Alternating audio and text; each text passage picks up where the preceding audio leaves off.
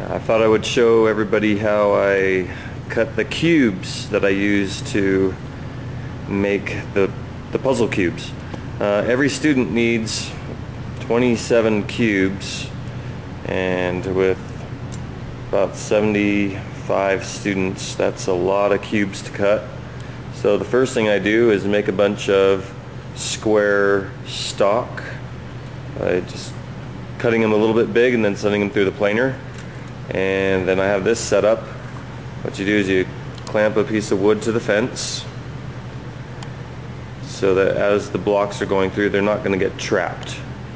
Okay, then I have this miter gauge here. I added the piece of wood to it to keep everything nice and that's kind of where the blade goes through and it works really well.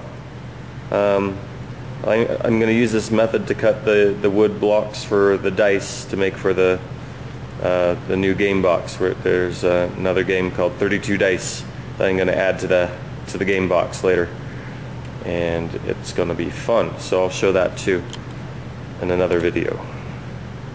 But this is how I cut the blocks.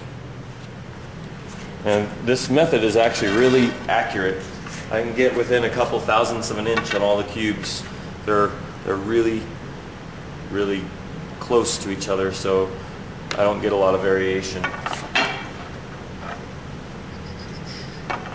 what I do is I find the, uh, the edge that sits the flattest, because sometimes wood can warp.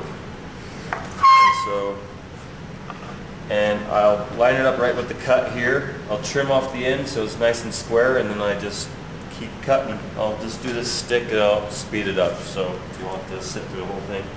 Ugh.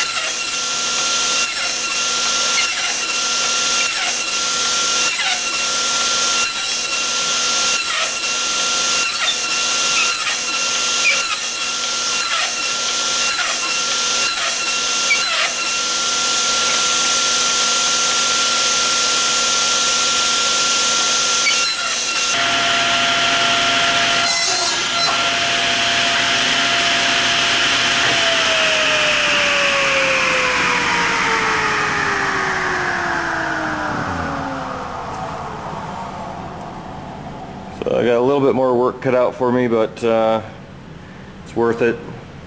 Um, and I like having fun projects for my students to work on. If any of you out there know of a faster way of doing this, please let me know, make a response video, and I will give it a try. Thank you.